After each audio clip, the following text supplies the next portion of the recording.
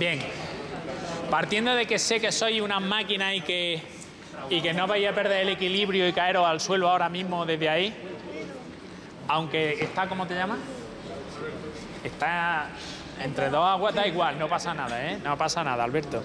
Vamos a ver, solamente una cosa muy sencilla. Eh, luego durante el curso iremos viendo que aunque hay cosas que todo el mundo tiene claras, como por ejemplo dónde está nuestra mano izquierda y dónde está nuestra mano derecha, algunas veces uno dice, bueno, es que hoy mi, mi derecha va a ser esta, hoy mi izquierda va a ser esta, porque nos confundimos, ¿no?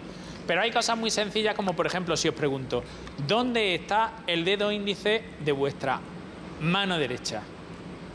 Perfecto. Algunos aciertan, no, podéis dejarlo, dejarlo. ¿Y el dedo índice de vuestra mano izquierda? Bueno, pues con los dos dedos índices, por favor, ¿podríais tocaros la punta de la nariz? Ni más arriba ni más abajo, la punta de la nariz. La punta, la punta de la nariz. Bien, muy bien. La punta de la nariz. Bien. Sí, sí. Eh, y ahora podríais en cada lado tocaros el lóbulo de la oreja de ese lado. El lóbulo. ¿Eh? No, no, no, no. Eso es bueno, no. Con, el, con la punta del dedo índice. Bien, está bien. Sí, sí. No, sencillo.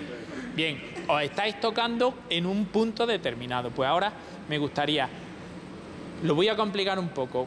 Con el dedo índice de la mano derecha seríais capaces de tocaros el punto articular más cercano que veáis del el codo izquierdo. Índice de la mano derecha, punto articular del codo izquierdo. Que a nadie se le ocurre tocarse aquí, aunque el hueso pertenece al codo, ¿no? Vaya, el hueso luego está, al final está el codo, ¿no? Os tocáis el punto articular aquí, muy bien. Y ahora el de la otra mano, con la otra mano, perfecto. Bien, bien, bien. Oye, os veo muy aplicados, que por lo menos las articulaciones del cuerpo si las sabéis. Eh, como por ejemplo, eh, Lucía, tú hiciste esto el año pasado, ¿no? ¿No? Bueno, entonces, eh, con el dedo índice del lado derecho, quiero que os toquéis el punto articular del el tobillo de la pierna derecha y con el dedo índice de la mano izquierda el tobillo de la pierna izquierda. Bien, bien, cuidado no os caigáis, ¿eh?